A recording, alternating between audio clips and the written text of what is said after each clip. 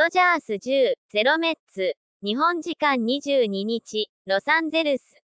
ドジャースの大谷翔平投手は21日、日本時間22日、本拠地メッツ戦に、2番、指名打者で先発出場し、3回の第2打席で8試合ぶりの5号ツーランを放った。メジャー通算176本塁打とし、松井秀喜氏を抜いて日本人歴代1位となった。記念球をキャッチしたのが、ロサンゼルス郊外メニフィー在住の48歳ジェイソン・パティーノさんだ。写真、ファン羨望、欲しいなぁ、ずらりと並ぶ、大谷からプレゼントされたお宝グッズ。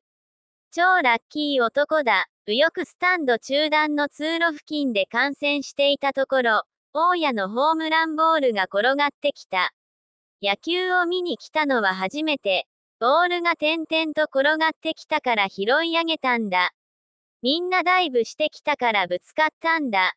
少しだけ頭を痛そうだったが、その表情は充実感でいっぱいだ。E6 と記された本塁打ボールをキャッチした後、警備員に連れられて一時退席。球団からサインボールとの交換をオファーされたが、現時点では、キープを選択した。試合後に再び球団側と交渉するという。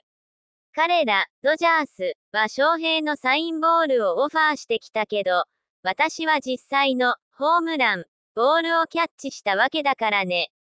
このボールにサインしてもらえたらクールだねと笑顔を浮かべた。周囲は1000ドル、約15万円、と勝手にオークションをスタートさせた。松井秀喜氏が日本出身の選手だと知っている。記録を抜いたんだろ。このボールは価値があるね。